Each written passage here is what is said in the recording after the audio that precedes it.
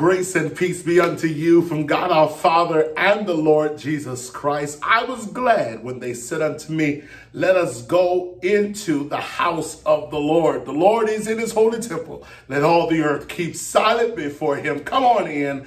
Let's go into the presence of the Lord. I'm excited about today. I'm excited about this worship. I'm excited about what the Lord is going to do and how he's going to move today. And I'm glad that you are joining us. Come on in to Crown Ministries, the Royal Worship Center, where everybody is somebody, but God is all. I want to invite you into this worship experience today. God is going to move by his spirit, and right there where you are, you're going to feel and sense the presence of the Lord. Do me a favor, like, love and share. Like, love, and share. And you certainly can put comments right there. We want to hear how the service is blessing you. We want to hear how you are receiving something from this encounter and this experience today. I'm excited about being with you. I'm excited that you've allowed us into your home, uh, wherever you are, to view this broadcast and to listen to this audio. Thank you so much for joining us today. Come on, like, love, and share. I want to see those hearts. I want to see those thumbs up.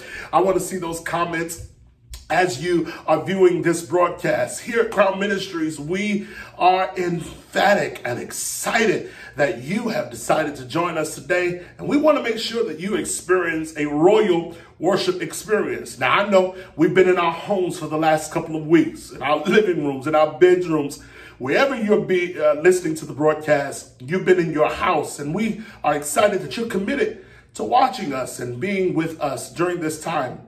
But I want to remind you what the word of God says. The Bible says, I was glad when they said unto me, let's go into the house of the Lord. But then the scripture says, in the presence of the Lord, there is the fullness of joy. And at his right hand, there are pleasures forevermore. I'm here to tell you that in his presence, your joy is full. At his right hand, your pleasures are forever. They are eternal. They will not waste away. But guess what? The presence of the Lord is not just in the church. I think by now we've all realized that you can get the presence of the Lord and be in the presence of the Lord outside of the four walls of the sanctuary and the church house. But you can experience the presence of the Lord right there where you are in your living room, your bedroom, right there where you are listening to this broadcast. The presence of the Lord can meet you. Now, how does that happen? It's very clear. The Bible says that he inhabits the praises of Israel. He inhabits the praises of his very own people. So when you praise God, he shows up right where you are. If you're in despair, if you're in trouble, if you're going through a trial or tribulation right now, if you would just praise him, he shows up right where you are. If you just adore him, he shows up right where you are. I know money is funny, change is strange. I know people are not as committed and consistent as you would like them to be. Relationships are shaky and rocky. I get it but he inhabits the praises of his people. He takes up residence. He literally dwells in your hallelujah. He lives in your glory to God. God is right there in your thank you, Jesus. The old folks used to say it like this, the more I praise him, the better I feel. So today I admonish you to give him praise, lift him up, magnify him, worship him in the beauty of holiness. And he's going to meet you right where you are, right there in your house, right there in your living room, right there in your bedroom. The presence of God is going to meet you there. I want you to join me in prayer because we're about to go into worship and we're about to experience God. Our worship team is prepared. they're ready to lead you into the presence of God. And today we got a very, very special uh, gift for you. Uh, none other than our very own Pastor Tae is going to be bringing the word of God. And today we are also going to be celebrating our graduates. That's right. It's graduation Sunday here at Crown Ministries. They don't have opportunity to have a normal graduation ceremony that some of us have had in the past, but we want to celebrate them. We want to highlight them we want to give special gifts to all of our graduates that are graduating here at Crown Ministry. So we got a lot in store. I'm ready for worship. I'm ready to get into the presence of the Lord. And I want you to join me. Come on, we're going to pray. We're going to invoke the presence of God right there where we are. And then we're going to go right into our worship. Are you ready? Let's pray. Father, we bless you. We thank you. We glorify you. Almighty great God that you are. We lift you up and we give you praise today. This is the day that you made. You've invited us into your day and we're glad in it. So now, God, we invoke you. We pray that you would move by your spirit. Somebody listening to this broadcast needs help. They need deliverance. They're crying out. They're reaching out to you. And God, your ear is not heavy that you cannot hear. Your arms are not too short that you cannot reach. So I pray that you would hear and answer, that you would reach those individuals who are reaching out to you. I pray, God, that you would meet that woman Meet that man right there in their homes. Meet them at their predicament. Meet them at their situation and deliver them out. Wipe the tears from their eyes. Calm their fears. Soothe their heart. Oh God, we invoke your presence. We invoke your presence right here, right now. Show up in a mighty way. Show up in a big way. Show up and show out. Throw your weight around. Throw your weight around till the devil is intimidated. Throw your weight around until demons are cast out and imps and devils have got to flee from the very presence of our homes, our minds, our bodies, and our children. Somebody's mind needs to be regulated. They're dealing with anxieties and fears. But oh, great Father, we know that you're able to deliver us from all of our fears. Father, somebody, their body is dealing with sickness and disease. But Father, you can heal them. Matter of fact, they're already healed by the stripes of Jesus Christ. So we pray healing. We pray deliverance. We pray breakthrough. Oh, God, show up now. Show up as we worship you. Show up as we lift hands before you. Show up as we open up our mouth. Show up as we declare your praises. Show up. Show up today. Show, don't deny us of your presence. Don't deny us of your embrace. Show up and we shall give your name praise and glory and honor. In Jesus' mighty, matchless, and marvelous name we pray. Amen and amen. My God, I pray you're blessed today. I pray you feel him already moving and stirring up. I pray that the presence of the Lord is meeting you right there where you are. So come on, let's go into worship together. Our praise team is going to lead us into worship, and we'll be back with the word of the Lord by Pastor Tae and take you further into this worship experience. Come on, let's go. Let's praise him together. Come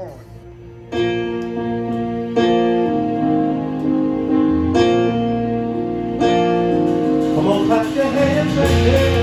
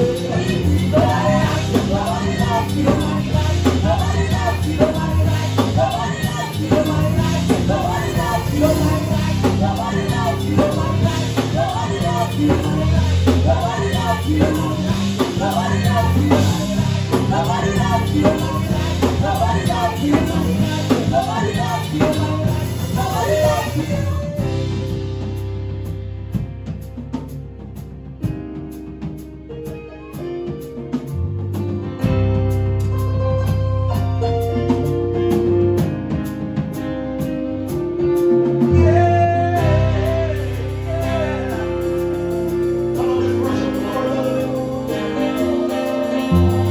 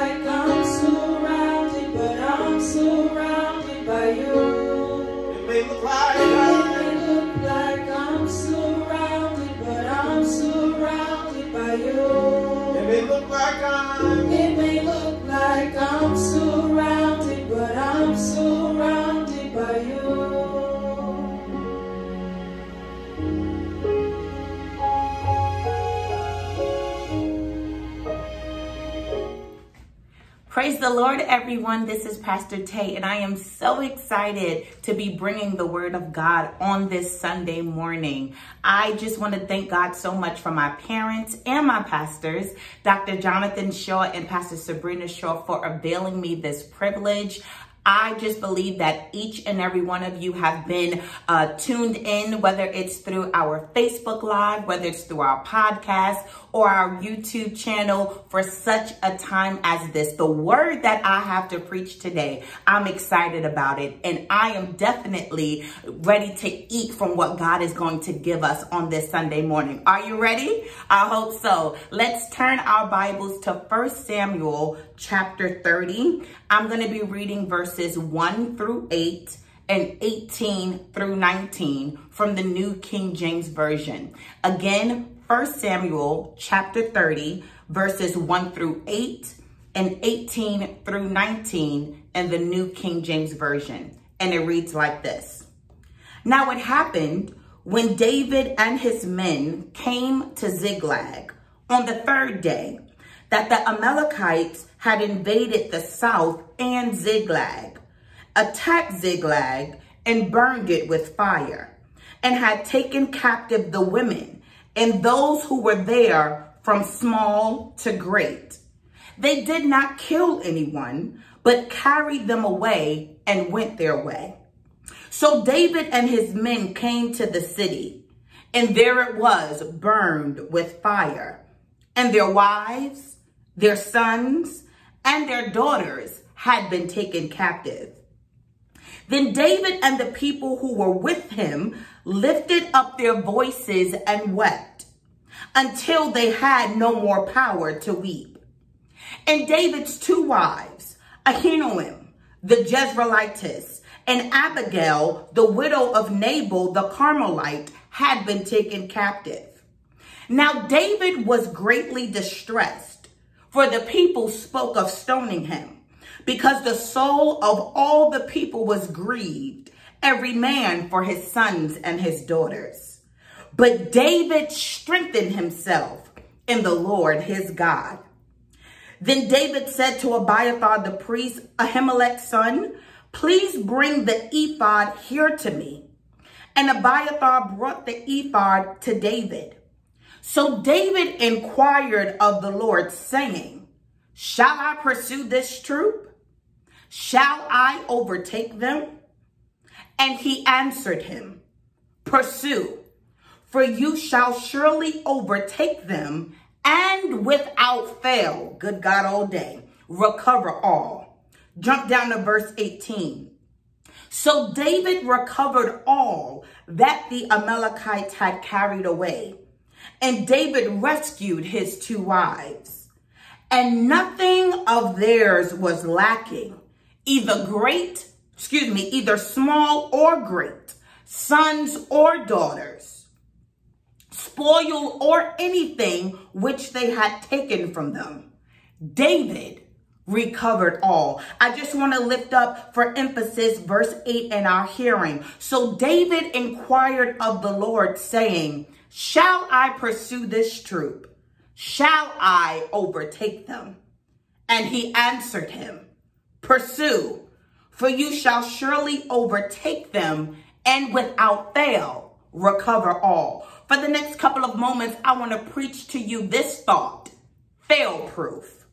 Come on, you can drop that in the comments, fail proof. Fail proof. Father God, in the name of Jesus, God, I thank you so much for uh, the word that you have given me to preach to your people today. I thank you for both previous and spontaneous revelation. Have your way in the next couple of moments that we are together and preach me, Jesus, that somebody can get strategy, insight, foresight, confirmation. It's in the mighty and the matchless name of Jesus that we pray. Amen.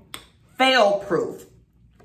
Our our uh, bishop has been talking to us on the topic of leadership lately. And I thought that it would be um, amazing if I just stayed in that flow and just kind of let you into my personal development. I've been recently reading a book by John Maxwell on the 21 irrefutable laws of leadership. And although this won't be a book review, I really thought that uh, a lot of what he gives in the first couple of chapters of his book will give us the foundation for our conversation on today. John Maxwell talks about leadership and he says the true measure of leadership is influence. It takes leaders to raise up other leaders. And he says this, to add growth, lead followers. To multiply growth, lead leaders. To be a leader, especially in 2020, in this day and age, you have to have people that intentionally listen to your voice, are drawn to you, and that will, are willing to act upon your vision. Leaders can create positive or negative change. And in order to move people in the direction of your vision, you need influence. So you may be asking, Pastor Tate, can you define influence? Can you give me some understanding as to what influence entails? And I want to let you know that I can. Uh, influence is the capacity to have an effect on the character, the development, or the behavior of others. Let me say that one more time. Influence is the capacity to have an effect on the character, the development, or the behavior of others. So if true, uh, if the true measure of leadership is influencing others, then the goal is to not only raise up leaders, but to raise up leaders that can also be influential. You see, uh, as we come swiftly to our text, John Maxwell identifies seven keys of leadership. Those of you that are taking notes, I need you to drop it uh, in, in, in the comments. The first key is character or who you are. You see, true leadership begins from who you really are. Character and integrity goes hand in hand. Crown Ministries, Crown Church of Charlotte, you know our bishop teaches us that integrity is doing the right thing when you could do the wrong thing and get away with it. So character is the first key of identifying a leader. Relationships is key number two, or who you know. We know that our world is derived around relationships. Uh, and if you are a leader who has followers, your, your leadership is strengthened by the relationships that you have. And I would even kind of press into that a little bit more and say, not only is your leadership strengthened by the relationships that you have, but your leadership is strengthened by having the right people around you that can help you reach your goal. The third key is knowledge or what you know. Leaders have knowledge, they understand their surroundings, and they have a vision for the future. The fourth key is intuition or what you discern. Leadership requires time. You guys know this. It requires a lot of energy. It requires having integrity and morale. And it also requires discerning momentum. The fifth key of leadership is experience or where you've been. You see, although experience does not guarantee credibility, if you're able to have experience as a leader, it confirms that you're not a novice and it gives you a chance to uh, showcase your leadership potentials to those that are following you. The sixth key is past success. You see, uh, oftentimes, especially in this day and age, your resume or your street cred is extremely important and success leaves clues. So your past success uh, to those that are following you uh, can be a determining factor for future victories. If you've succeeded in the past, it gives us a key uh, to know that we can also experience victory by being under your leadership. And the seventh and the final key that we're going to discuss today is ability or what you can do. So we talked about character, we talked about relationships, about knowledge, about having intuition, about experience and past successes. But ability is what you can do. And I, I believe that uh, those six keys are really important. But this seventh key allows us to know uh, uh, that if you no longer continue to lead us in an area of victory, uh, that we can stop listening to you and we can stop following you. Uh, but all leaders have an ability uh, to lead a team to victory. Uh, I'm not going to keep following you. I'm not going to listen to you. I'm not going to submit to you if you don't know where you're going. So ability is what you can do. And there are so many people in our world that's asking for leadership. That's that's actually petitioning and trying to scout others to be their leader. But the question that we need to ask, especially uh, during this pandemic, is what can you do? So, uh, thinking about John Maxwell's book on 21 Irrefutable Laws of Leadership, uh, let me now lay the backdrop to this story in 1 Samuel chapter 30. It actually begins in chapter 22 uh, um, by a man named David. I know that you're pretty familiar with this character in the Bible, but just in case you've never heard of him, uh, let me introduce you to David. David was a shepherd boy. It says that he was the least in his father's house. His father didn't really acknowledge him as being a son. You can find that around uh, 1 Samuel chapter 16. His brothers hated on him. You, and there's so many theologians that really talk about that family dynamic. But just for our conversation, we can know that David was the black sheep of the family. He was the outcast. He was the least likely in his household to be deemed the leader. But how many of you know that when others count you out, God counts you in? I see there's a meme and there, there's a, a, a, a phrase that's going around social media that those that counted you out can't count. And I want to let somebody know that you may have been counted out. You may feel like you're the black sheep of the family. You may feel that your friends, that your family members, that your parents even uh, don't see the true value of who you are. But I want to let you know that God is actually counting on you and he's counted you in. You see, David was the least likely of his family to be a leader, but God chose him for such a time as this. He sent sent the prophet uh, by the name of Samuel to anoint him as the next king of Israel. There's somebody under the sound of my voice. Somebody may be catching the replay and you are feeling insecure. You are questioning yourself. And I, I've come with this encouraging word. I've come to preach a word of victory uh, to let you know uh, that you are the one in your family. I know others look the part. I know others have gone to school and they may have the credentials. I know others may have the money. Uh, I know it's easy for you to look around and point to see who's next, uh, but you are the one that God has chosen. You are the one that he has stamped his seal of approval on. You are the one that has the oil. And when God has chosen you, there is nobody uh, that can change his mind. David was the one that had potential. He was a worshiper. The Bible tells us that he played the harp, that he sang songs, that he was also a servant, not only only did he worship, but he served. He was faithful to his father's commands. He kept all of the sheep in line. He wasn't saying to himself, well, I got the anointing, uh, so I don't have to worry about these stinking sheep. Uh, the Lord called me to be next, uh, so I don't have to worry about these minuscule tasks. May I give a word of encouragement to somebody who's waiting. You've gotten a prophetic word. You've, uh, you've known that God has called you from the time you were young, but it seems that you're doing stinky jobs. It seems that you're handling minuscule tasks. It seems that people still have not recognized or even agreed with who God has called you to be and what he has called you to do. My word of encouragement to you, my brother and my sister, is just to wait just a little while longer because the Lord is about to breathe on you.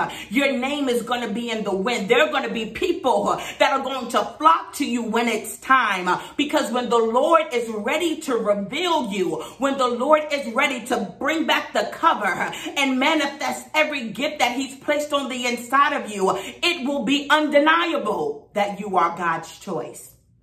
So we see here in 1 Samuel chapter 20, 22 uh, that it says uh, in a very uh, uh ironic way, David is running for his life. Uh, uh, I fast forwarded in the story just a little bit. Um, he was serving the king and then the king realized that he was next. so he got a little bit jealous and envious of David. so David is in a hot pursuit to flee for his life.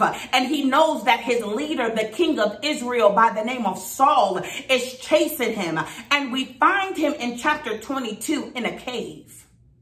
We find him in the cave called Adullam, running for his life fleeing for his life, probably praying to God to make a way out of no way. But something amazing happens. It says while he was in a cave, when his brothers and his father's house knew that he was in the cave called Adullam. Watch this. It says everyone in distress, everyone that was in debt, and everyone that was discontented gathered to him. Everyone that was distressed, distress means you have anxiety, sorrow, or pain. Everybody that was in debt, I'm talking about you owe the creditors, they're coming to catch you. And everybody that was discontented, everybody that was dissatisfied with their life, everybody that was restless or they were craving a, a life of more gathered to him. Now, this does not really look like the makeup of a leadership team. It seems ironic when, when, we're praying to God and you know that you're next and you know that God has called you uh, to do something that you don't have a model for. You're the first uh, of your kind. You're the first in your family. Uh, you are the trendsetter. You are the paradigm leader. You don't have a modern day example uh, that looks like what God told you. You might be praying for a leadership team that is secure that has a million dollars uh, and that has joy unspeakable and full of glory. But that's not what David had. His leadership team was made up of those that were in debt distressed uh, and, and the bible says discontented and it says they gathered to him in this cave and he became the captain over them now that's powerful to me uh, because again, I told you leadership is all about influence and influence is bestowed upon you. Uh, I believe that these people, although they were not living uh, at their highest potential, uh, although they, they were not living uh, at their maximum uh, capabilities, they saw something in David and peradventure may I add, I believe that David saw something in them. You see, it is the makeup of a leader that can take raw material uh, and after fashioning and forming them uh, can make a follower a leader. It's only a leader that can pull out of you uh, what is actually on the inside of you.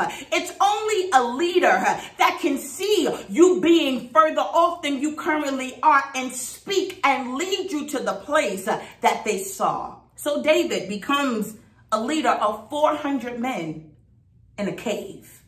As our story progresses and we move closer to 1 Samuel chapter 30, we see that he started off leading 400 and now he's leading 600. His leadership has grown. Word has gotten out. He has no throne. He has no money. He doesn't even have a house to live in. These men are following him. They're following their leader everywhere that he goes, everywhere he looks up, it says David and his 400 men, David and his 600 men, David and his mighty men. They're taking territory. They're fighting the enemy. They're, they're gaining ground for God's glory. And then all of a sudden you see David in his leadership grow in his posture. He starts to negotiate some real estate and he says, listen, he says to he says uh, uh, to one of the leaders, he says, listen, I've been serving you uh, for a long time. Uh, and he says, and uh, I really need a home. I need a city uh, for my community. I need a city for the people that are following me. and then it says, why don't you take Ziklag? Ziklag was a city that was given to David and his men. Watch this. Uh, and then David gets married. He has two wives. His entire team of 600 men that are following him, uh, they get married uh, and they have sons uh, and they have daughters. And it almost seems uh, like a utopic experience uh, because when I came to this man, I was broke, busted, and disgusted. But under his leadership, I now have property. Under his tutelage, I now have a family. It seems that life is amazing and it's glorious. These men go out and they come in. They have wives, they have children, they have cattle. And how many of you have felt the same way that you associated yourself with a leader on earth? And when you they met you, you were living uh, beneath the level that you know God called you to. You were living subpar. You were living average. You were living mediocre. Let's bring it a little bit closer to home. Come on, Crown. Crown Ministries and Crown Church of Charlotte. When we met Bishop and Pastor, many of us were insecure. We were broke, busted, and disgusted. We were dealing with insecurities. We had frailties. We had trust issues. But under their leadership and through this connection, many of us are owning our own homes. We're driving our own cars. We've established families. It seems that life was great. And we start heralding to the world, my leader is the greatest leader. They can lead you from potential to manifesting your reality. They can lead you from having a dream to actualizing it. The men spoke well of David. Their families loved him until we get to 1 Samuel chapter 30. It says that they went out to fight the enemy. And when David and his 600 men came back, our text today opens and it gives us to know uh, that there was destruction that happened in Ziklag. Watch this. It says, now it happened when David and his men came to Ziklag, when they came back home, the Amalekites or the enemy, watch this, they invaded Ziklag, they burned the city with fire, and they took captive their women and their children. Let's paint the scene. Let's imagine this. When they get back home from war, they're thinking that they're going to take a bubble bath, that they're going to be reunited with their family, that they're going to have a hot meal to eat. And they come back and they see destruction. Their city is not only destroyed, it is set on fire. Not only is their city destroyed and set on fire, their families are gone. They're taken captive. The women, their partners, their children that represents their longevity is all taken captive by the enemy. And it says that when David and the people saw this, they lifted up their voices and they wept until they had no more power to weep. Now, this is a powerful scene because these are men of war. You know David. David has not only killed bears and lions, but he's killed Goliath without a sword and without military uniform. David is the leader and he has built 600 men to move like he moves. These are men of war. These are men that are powerful. These are men that are violent. These are protectors these are defenders. They're not novice. They're not passive. These are men that are strengthened. And it says that they wept and they lifted up their voices until they had no more power to weep. I don't know who I'm preaching to on this morning, but I want to let you know in your leadership, whether you're the single leader or you're a part of a leadership team, that the enemy is going to try and hit you in a weak spot to take your breath away. The enemy is going to try when you're when you're trying to take more territory. He's going to try and affect your family. He's going to try and hit your home with a blow that tries to knock the wind out of you. And you may be weeping right now. Tears while I'm preaching may be falling down your face and you're weeping until you have no more power to weep. There's trouble that has hit your home. There's situations that have hit your finances. There's a storm that has hit your marriage. A relationship between you and your children are broken and you're looking for reconciliation reconciliation. And it says, watch this, that as they were weeping until they had no more power to weep, that the leadership team started to turn on the leader. Oh my goodness. May I encourage you, brothers and sisters, in the moment of your weakness, in the moment when you're going through your trial, in the moment when you're going through situation, don't turn on the leader. It says that David heard, he got wind that the people spake of stoning him.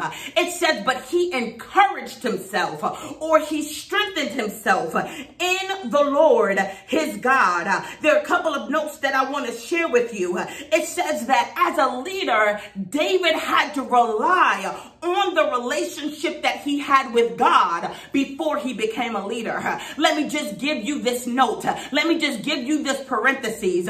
Don't allow your leadership and your, your many abilities and oversight to keep you from your relationship with God. Sometimes God will allow things to happen in our life that will bring us to our knees only so that we can look up to the hills from which cometh our help. I want to encourage somebody on this Sunday morning. Uh, leaders, uh, don't allow your adversity uh, to make you forget your memory. Uh, don't allow what you're going through uh, to block your mind of the God that you serve. Uh, although you're in a new situation, although you're, you're in a place that you've never been before, like David, I'm sure he had to encourage him himself in the Lord by reminding himself of the God that brought him through, of the of reminding him uh, of the God that brought him through insecurity, that brought him through situations when Jesse was treating him bad. I, I'm sure he had to put himself in remembrance and remember the God that kept him when he was fighting that bear and that lion.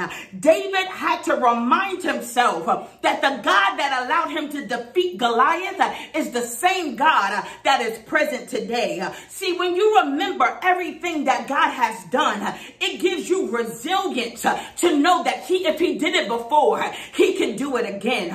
When you remember God's track record, it gives you posture in prayer to say, God, you're not a man that you should lie. Neither are you the son of man that you should repent. So David's confidence started to increase.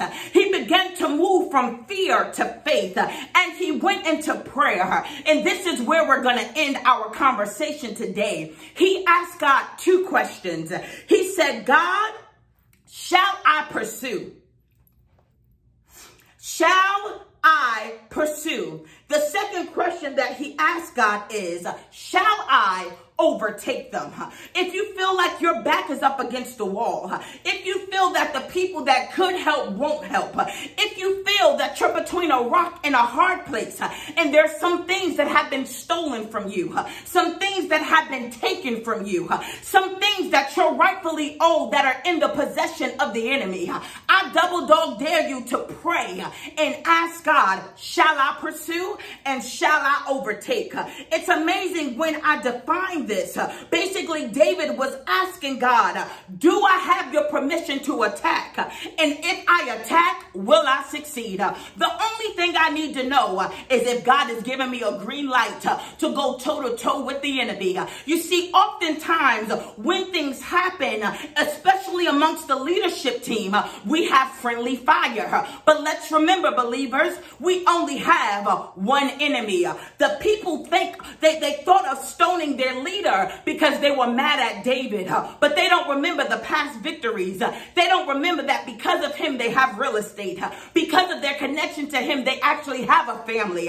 And they started to question the ability of their leader when they were in a rock and a hard place. Leaders, leaders, lean into the screen. It's time for us to pray and get the blueprint from heaven. It's time for us to pray and get the mandate from God. David said, God shall I pursue and shall I overtake. And the last thing that I want to leave with you today is God says, pursue and overtake For without fail, you're going to recover all. I've just come to preach to somebody for about 60 more seconds to let you know that it's recovery season. Recovery is your portion. A restitution is coming to you. Everything that was stolen, everything that was lost, everything that was repossessed, everything that is held up captive. It's time for you to square your shoulders because it's time to overtake and pursue. I dare you uh, to get your strength back, uh, to get enough energy uh, to go into the enemy's camp and get everything that belongs to you. I want to encourage you that we're moving into recovery season.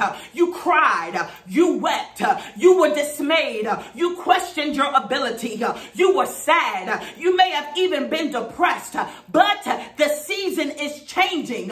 It's recovery time. I want to encourage you. I want to tell you, my brother and my sister, get ready to recover all. Nothing lacking, nothing missing, nothing broken.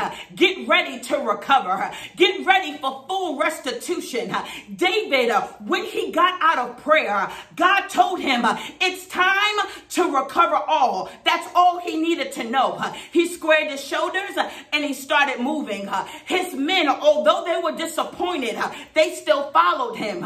And on the way, they found favor. May I just give you this insert that God is going to give you favor on your season and your road to recovery. They found a young man that had fallen sick three days prior that was a part of the enemy's camp. And when David found him, he refreshed him. He gave him bread and he gave him water. And then he said, Who are you and what are you doing here? And the young man told David everything that he needed to know. He said, My master actually left left me because I fell sick. But we invaded this city, burned it with fire, and took everything, both woman, child, and livestock captive. David said, Can you lead me to where the spoil is? Can you lead me to where they are, where the Amalekites are? He said, As long as you promise not to turn me over to my master, and as long as you promise not to kill me, I'll show you where they are. May the Lord give you favor that there's somebody in this earth that knows how to locate your stuff. There's somebody in this world that knows exactly where your possessions are. They know where your children are. They know where your money is.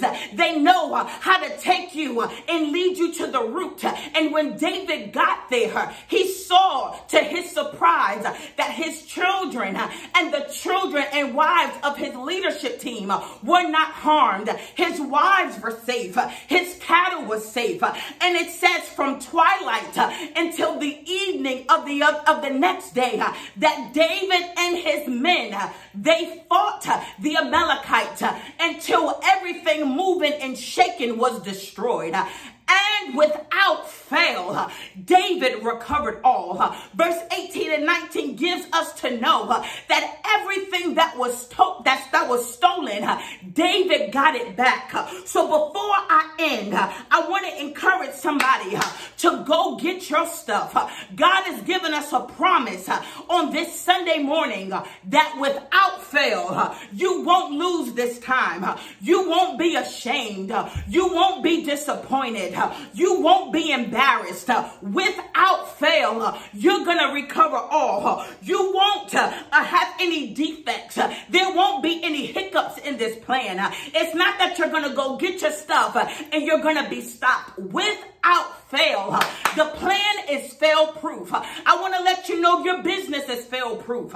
Your marriage is fail proof. Your relationship with your family is fail proof. And without fail, you're going to recover all. You're going to recover all. God is not a man that he should lie. Neither is he the son of man that he should repent. It's time to enter recovery season. It's time to enter recovery season. I need you to get this in your spirit. I'm at my time, but it's time for us to enter into recovery season. Everything that was stolen, everything that was taken captive, not only was it preserved by the time David got there, he was able to avenge himself on the enemy. get everything that was rightfully his and for his leadership team. And without fail, they recovered all. Nothing missing, nothing broken, nothing fractured, nothing damaged. Somebody under the sound of my voice, you need your joy back. You need your strength back. You've been searching for your peace. It feels like peace has been stolen from you. You haven't laughed in a long time. You're feeling dissatisfied within and you've been blaming your leader. You've been blaming those connected to you. You've been weeping, you've been crying, you've been journaling, you've been mourning, asking God, when is breakthrough going to come? And I want to let you know that it's here. It's not time for us to be disconnected. We have to stay connected because we have one enemy. The enemy has your stuff. But God has given us the green light today. Pursue, overtake, and without fail, recover all. It's recovery season. And without fail, no hiccups, no bumps in the road, no boundaries, no stumbling blocks. You're going to get back everything that the enemy stole. I hear even the scripture resonating in me. God says, I'll restore the years that the cankerworm, the palmer worm, the caterpillar and the locust has eaten up. I don't care if you feel like you've lost time, if too much time has elapsed, if you are not even interested in praying about it any longer because it's been so much time since you've been separated from your thing, a promise is a promise. And without fail, you're going to recover all. I pray this message blessed you. I pray that it encouraged you. For some, it may be a strategy. For others, it may be a word of encouragement or confirmation. Wherever you may find yourself in this message, know that without fail, God is giving you the green light today to recover all. There may be somebody under the sound of my voice that you're looking to get your life back, to get your breath back. It feels like you've been living and it seems like you've been trying to just keep your breath. There's so many things happening, so many situations, one after another. And you've questioned those that are connected to you and, and you've questioned the leadership. And for some of you, you have even cut ties with the wrong people that you were following. Today, I want to introduce you to the ultimate leader. His name is Jesus. He came to this earth to teach us a better way, to teach us how to have life and to have it more abundantly. I want to introduce you to Jesus on this Sunday. For those of you that say, I need to, true leadership, I need to be saved. I need I need someone that is going to walk with me and talk with me and show me who to connect with and show me how to recover everything that I lost. The ultimate thing that we need is eternal life. That was stolen from us. But I'm so happy that on Calvary's cross, Jesus whipped the enemy and he actually got back the keys of death, hell, and the grave. And all you have to do is confess with your mouth and believe in your heart that God has raised him from the dead and you shall be saved. So if that's you, my brother and my sister, this is the first time that you're confessing Jesus as Lord of your life, or even if you're a backslider, you once walked with the Lord and he was your leader, but you switched sides. Life got in the way. You know, you took a pause from your relationship with him. He says, I'm married to the backslider. You can come back to me. I'll receive you as my own and I will help free you. I'll help liberate you. You were a captive, but without fail, not only can you can recover all things, but you can recover your life back. If that's you, I want you to say this simple prayer with me. Believe it in your heart and confess it with your, with your mouth. Say, Lord Jesus, I confess you as being Lord of my life. I need you as my leader. Guide me, direct me, help me, give me new cravings, give me a new appetite. I don't belong to myself.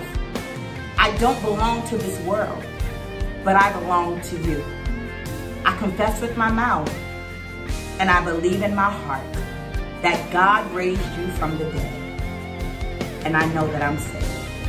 It's in Jesus' name that I pray. Amen. My brother and my sister, that prayer just secure your salvation. Jesus is the ultimate leader. Now, this is what I want you to do for me. We want to continue to help you on this journey. This was the best decision that you can ever make in your life, but we want to help you in the steps ahead. Would you do me a favor and text the word SAVED, S-A-V-E-D, to the number 40691. It should be right there on your screen. Text SAVED to 40691. All we're going to do is ask you for some contact information and we want to connect with you. We want to pray with you. We want to get to know you a little bit closer so that we can help you follow the leader. I hope that you were blessed today. Before I turn it back over to our bishop, I just want to pray out. Father, we thank you for what our eyes have seen, what our ears have heard, what our hearts have received oh God, I thank you for your word that without fail, we're going to recover all. We honor you, we glorify you, and we thank you, uh, oh God, for the reconciliation, for the restitution, and the recovery that is about to hit our lives. Bless everyone that accepted you as Lord of their life, and we honor you and we thank you for this worship experience. It's in the mighty and the matchless name of Jesus that we pray. Amen. I love you so much. It was a pleasure to bring forth the word of God to you today. I love you so much. We'll see you soon. Wow, what a word. What a word from the Lord. Thank you, Pastor Tae. Were you blessed by that word? Were you moved by that word? I'm here to tell you, listen, God is moving by his spirit. He's doing something magnificent, marvelous. He's doing something mighty in your life, and he's making your life fail proof. Wow, fail proof. You're fail proof. Your finances, your business, your ministry, your body, everything is fail proof. And without fail, you shall recover. I want to challenge you today. I want to challenge you to sow into this word. This word bless you. Uh, Crown partners, you know what we do. We sow our tithe and we sow our offering. And I want you to sow into this word as well. Today, let's get ready to give. Let's get ready to sow. The Bible says that God loves a cheerful giver. When you say that God loves a cheerful giver, the reality is cheerfulness is not something that you have in your pocket, but cheerfulness is actually something that you have in your heart. So when you say God loves a cheerful giver, he loves when you give from your heart. So brothers and sisters, today, don't just give from your pocket, but give from your heart. Your heart will tell your pocket what you should give. If you listen to your heart today, sow from your heart, and I believe that the Lord's going to bless you. Good measure, pressed down, shaken together, and even running over. God's to cause men to give into your bosom. He's to bless some 30, some 60, and some 100 fold. How can you give here, Crown Ministry? We have several ways. You can go to our website, www.crown-ministries.org and click on the giving tab on our website. It's right there on the screen. You'll be able to give there. Or you can text to give.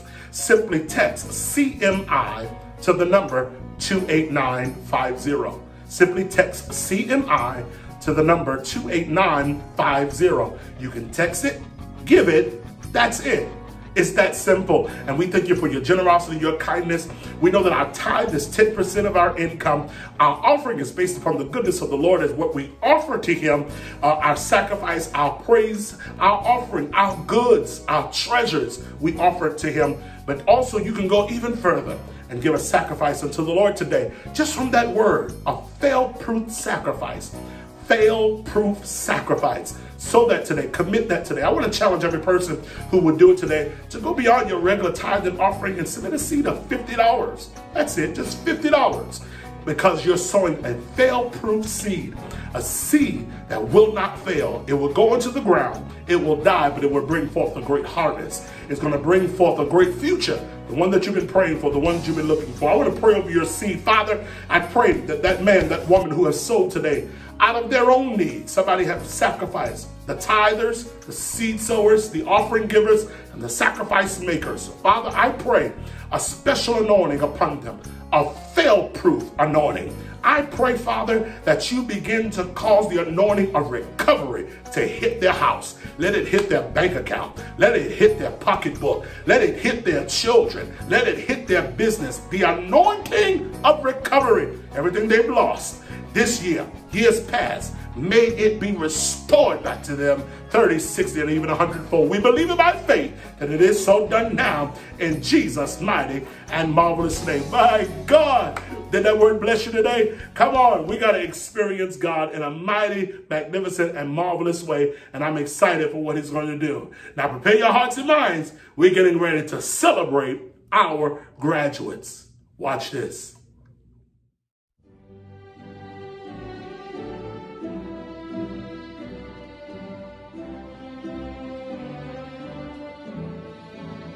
Grace and peace, everyone. Pastor Sabrina Shaw and Bishop Designate here. And we want to take a moment to recognize our scholars, the students that have graduated a part of Crown Ministries 2020. And we are so excited for them.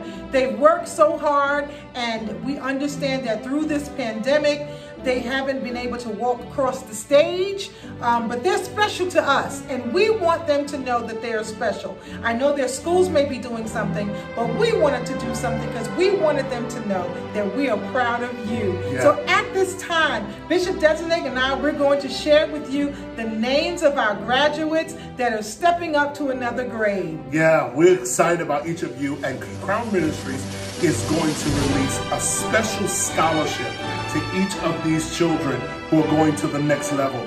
We are so appreciative that you stuck through it in school. You did what you had to do. Even towards the end of this school year, you had to do online school and all the things that were not conventional, but you stuck to it, and we're proud of you. We're excited. You here at Crown Ministries, we love education. We promote education. And so we want to acknowledge you and we want to gift you with the scholarship. So let's get ready. Here are our graduates. First and foremost, graduating from kindergarten, we have Imani Charles. Let's give it up for Imani, everybody. Congratulations, Imani. And Congratulations, second, Imani. graduating from kindergarten is Zayden Holder. Zayden! Thank you, Zayden. Congratulations. Our kindergarten graduates will both be receiving a $25 scholarship each. Come on, thank you, Crown Ministries. $25 each for our kindergarten graduates. Next. Next, we have graduating from the fifth grade is Jeremiah Thomas. Come on, Congratulations, Jeremiah. Congratulations, Jeremiah, for graduating from the fifth grade. You are receiving a $50 scholarship for graduation. Y'all give it up for Jeremiah. Next, we have going to high school. Uh-oh. our very own Kamora Quarley. Come on, give it up for Kamora, everybody. Kamora's graduating.